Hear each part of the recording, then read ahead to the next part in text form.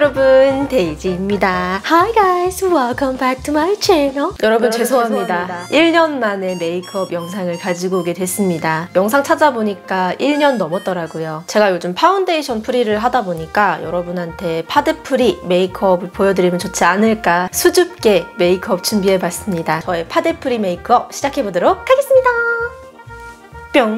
우선 얼굴을 가볍게 닦아주고 시작해보도록 할게요. 여기가 집인가요? 라고 생각하실 수 있는데 아닙니다 네, 여기가 집이 아니고요. 제가 사실 2주 동안 의도하진 않았지만 가출을 했습니다. 욕실 공사 때문에 지금 밖에 나와 있고요. 화장실을 쓸 수가 없어서 한 열흘 정도 이렇게 밖에서 지내고 있습니다. 제가 원래 좀 뭐가 고장나고 낡고 그래도 에이, 그냥, 그냥 써. 써 이런 스타일인데 저희 욕실에 샤워기 물도 새고 변기가 안 내려가더라고요. 저희 집에 변기가 많이 낡았어요. 얼마 전에는 변기에 금이 가가지고 내 엉덩이가, 엉덩이가 그렇게 무거웠니? 무거웠니? 그래서 어쩔 수 없이 욕실 공사를 하게 됐고 저희 집에 욕 조가 없어서 이왕 하는 김에 욕조를 미니미니하게 만들어보자 해서 미니 욕조도 지금 만들게 됐습니다. 저 입술이 사계절 내내 건조한 편이라 립밤을 먼저 발라놓고 메이크업 시작할게요. 제가 오늘 사용할 제품 tone-up 쿠션이고요. 어, 요거 광고 아닙니다. 협찬 아니고요. 제가 직접 샀습니다. 에스쁘아 워터 스플래시 tone-up 쿠션이고 SPF 50 플러스 PA 뿔뿔뿔이라서 선크림 사용 안 하고 이것만 발라주고 있습니다. 보시면 도트 모양으로 해서 선크림이랑 tone-up이랑 섞여있는 모습입니다. 요거는 인스타로 리뷰해달라는 요청이 좀 많았어요. 그래서 제가 원래는 써보고 간단하게 인스타에 리뷰할게요 라고 했는데 뭐 생각보다 좋은 거예요. 그래서 이거 좀 정착해가지고 안 그래도 파데프리 하는데 손으로 좀 바르기가 귀찮아가지고 고민하고 있었는데 이 제품이 저한테 잘 맞아서 요즘 맨날 맨날 쓰고 있습니다. 선크림만 바르고 다녀도 되긴 한데 조금 커버력이 있으면 좋겠다 싶더라고요. 근데 이 제품은 커버력이 막 있는 제품은 아니에요. 그냥 보시는 것처럼 딱 tone up 정도 해주는 제품인데 그래도 톤 보정을 어느 정도 해주다 보니까 커버력이 아예 없는 제품보다는 낫더라고요. 그리고 보시면 이렇게 뾰루지가 한두 개 나 있죠. 근데 예전에는 뾰루지가 한 개 나면 무조건 컨실러 써야 되고 다 커버해야 되고 그랬는데 아 요즘은 그래 사람이 어떻게 피부가 완벽할 수가 있겠어. 그냥 있으면 있는 대로 쓰는 거고 물론 뭐 왕큰이다 그러면은 커버를 할 수도 있겠지만 그런 게 아니고 뭐 작게 한두 개 나고 그러면 아 이제는 그냥 냅두자 싶더라고요. 그리고 이 제품이 모공을 굉장히 잘 가려줍니다 이게 따로 모공 primer를 안 써도 되더라고요. 이게 모공 primer랑 tone up 크림이랑 같이 쓰면 엄청 밀리잖아요. 그리고 처음 바르고 나서 완전 하얘지는 거 아니야? 라고 걱정을 했는데 생각보다 금방 자연스러워져요. 그래서 그냥 바르고 나서 한 10분, 15분 정도 지나면 톤 보정이 되어 있더라고요. 저는 복합성이라서 이렇게 두면 나중에 번들번들해져요. 그래서 파우더 처리를 해줄 겁니다. 파우더는 이 메이크업 포에버 제품을 사용하고 있고 제가 평상시에 뭐 살까 말까 하거나 제품 리뷰할 때도 항상 이 제품을 사용하고 있어요. 저는 T존이랑 볼 쪽에 유분이 많이 나오는 편이라서 이게 그냥 두면 난리가 납니다. 제가 저번에도 어디 미팅 갔다가 까먹고 파우더를 안 했더니 완전 번들번들해져서 무슨 거울인 줄 알았어. 파우더 처리를 안 하면 좀 묻어남이 있기 때문에 파우더 처리 해주시면 좀 묻어남도 적어지고 확실히 유지력이 좋아지더라고요. 눈썹을 그려주겠습니다. 이거는 바비 브라운 제품이고 뭐 이것도 제가 굉장히 오랫동안 사용하고 있는 제품이라서 여러분 아시겠죠? 제가 메이크업을 왜 자주 찍지 않는지 제품이 바뀌지 않기 때문이죠.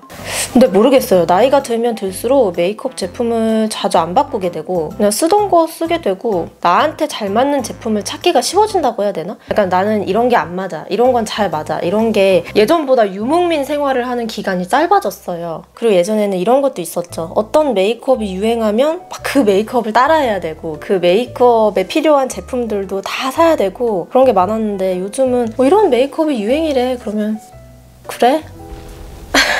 봐도 내 스타일 아니다 그러면 그냥 그런가 보다 하고 좀 안 하게 되는? 그냥 구경만 하는? 그런 것도 많이 생겼죠. 한 살씩 나이를 먹으면서 좋은 점이 이렇게 나만의 취향이 생긴다는 거? 나만의 가치관이 생기고 취향이 생기고 이런 게 참 좋은 것 같아요. 어, 막 헤매고 이런 게 많이 없어지고 남들 따라하고 이런 게 많이 없어지고 그냥 내 스타일대로 하고 자기 확신이 나이가 들수록 생긴다는 게 장점이 아닐까. 예전에는 제 영상에 그런 댓글도 많았어요. 뭐 눈썹을 이렇게 그려라 저렇게 그려라. 예전에는 그런 댓글들 다 신경 써가지고 막 이렇게 바꾸고 저렇게 바꾸고 요즘은 그냥 외모 지적이 있거나 뭐 이런저런 평가하는 댓글이 있어도 뭐 그냥 그렇게 생각하나 보다. 어쩌라고 뭐 어쩔 건데 그냥 한 귀로 듣고 한 귀로 흘리는 그런 게 많이 생겼죠. 눈썹 완성했습니다. 어떤가요? 마음에 들어. contouring은 투쿨 포스쿨 아트클래스 바이 로댕 쉐이딩 모던 이것도 제가 너무 오랫동안 사용해가지고 모던 컬러가 나온 이후로는 계속 이걸 사용하고 있고요.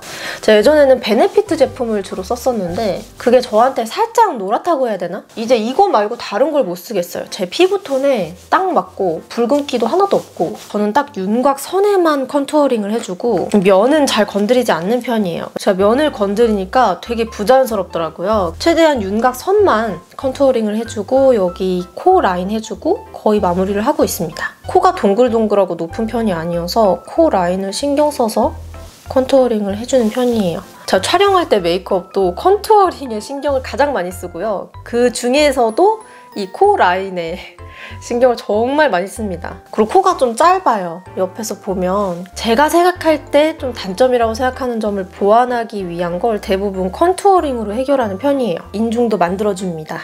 전체적으로 여기가 밋밋해요. 그래서 여기를 항상 좀 입체적으로 만들어주려고 하는 편이고 여기도 데이지크 섀도우 팔레트 07번 밀크라떼고요. 제가 데이지크 팔레트는 다 가지고 있어요. 데이지크가 발색도 좋고 매일매일 부담 없이 사용할 만한 색깔들이 많아서 좀 많이 찾게 되더라고요. 아이섀도우는 그냥 거울도 안 보고 그냥 쓱쓱 바릅니다. no look shadow, no look 화장. 이게 에뛰드하우스 무슨 카페 팔레트? 아, 이름이 기억이 안 나네. 이 길다란 거. 근데 그거랑 이름도 비슷한데 색깔도 비슷해요. 근데 발색이 더 좋아요. 약간 상위 호환 느낌? 좀 매일매일 사용하기가 좋고 화장을 진하게 할 게 아니기 때문에 좀 연하게 그냥 쓱쓱 발라주고 끝내줄게요. 그리고 제 얼굴이 위아래가 좀 더 길어요. 그래서 균형을 좀 맞춰주려고 제가 눈 아래쪽에도 under shadow를 해주는 편이에요. 위쪽에만 해주면 위쪽으로 강조가 되니까 이게 더 길어 보이더라고요. 그래서 여기 아래쪽에도 살짝 해주는 편이에요. 마스카라. 헛. 여러분 그거 아세요? 저 인조 속눈썹 쓴 지 되게 오래됐어요. 물론 인조 속눈썹 쓰면 좀 더 인형처럼 아이돌처럼 화장할 수 있겠지만 어 제가 아이돌도 아니고 저는 배우도 아니고 약간 굳이 써야 되나? 약간 그런 생각이 들었고 인조 속눈썹 풀이나 이런 게 눈에 굉장히 좋지 않잖아요. 그래서 내 건강을 위해서라도 조금씩 줄일 수 있는 건 줄이는 게 좋겠다라는 생각이 들더라고요. 제가 원래 인조 속눈썹이 집에 한 박스 있었는데 그냥 아름다운 가게 다 기증하고 안쓴 지 2년 넘었습니다.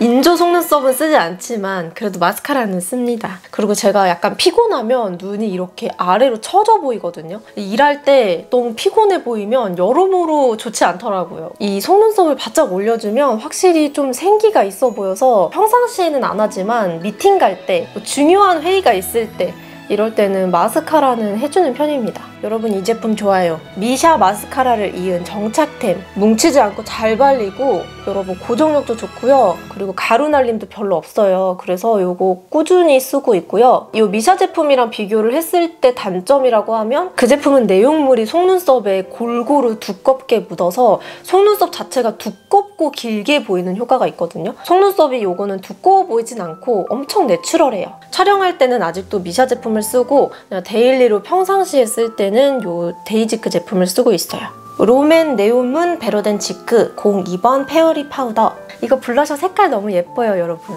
제가 다른 거 쓰다가도 항상 딱 생각이 나는 그런 침착한 코랄 색깔 아이라이너는 바깥 점막 좀 그려주고 살짝 빼줄게요 저는 전형적으로 눈 안쪽 점막을 채우면 답답해 보이는 스타일 그래서 안쪽 점막은 채우지 않고 바깥쪽만 채워줄 거예요. 20대 때 점막 채우는 것도 어려워하던 시절이 있었죠. 언제적이야. 그때는 점막 채우는 게 너무 무섭고 잘 안 되고 이렇게 손 대면 자꾸 눈을 이렇게 감아가지고 아이라인 그리는데 되게 오래 걸렸거든요. 그러던 시절이 있었었었었었었었었었지. 제가 두 가지 가지고 왔고요. 요거는 제가 영상에서 한번 소개해드린 적이 있는 컬러 립밤. 요거는 신제품 롬앤에서 새로 나온 Juicy Lasting Tint. 아까 립밤 발랐던 게 있어서 일단 그거 닦아내줄 거고요. 컬러 립밤으로 베이스를 깔아주고 거기에 살짝 물기 머금은 효과를 내줄 거예요. 자, 이런 식으로 톡톡 두드려서 립밤 옆으로 바르지 않고 두들겨서 바르는 거 잘 실천하고 있죠, 여러분? 안 그러면 제가 궁뎅이 팡팡 때리러 갑니다. 이렇게 컬러 베이스는 완성. 이 틴트로 중앙만 살짝 발라줄게요.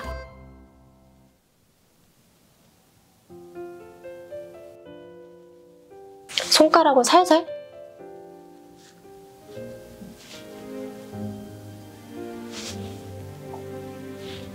이렇게 하면 완성!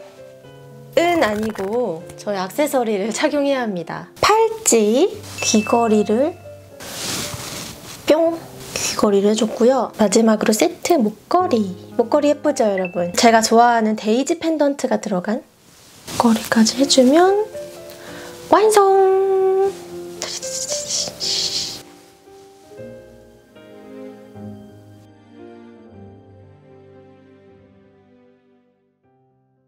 오랜만에 메이크업을 찍어가지고 상당히 어색합니다. 요즘 제가 어떻게 메이크업하고 다니는지 좀 궁금하셨던 분들께는 도움이 되셨으면 좋겠고요. 저는 이만 물러가도록 하겠습니다. 다음에 또 재미있는 영상, 유익한 영상 가지고 오도록 할게요. 그때까지 안녕!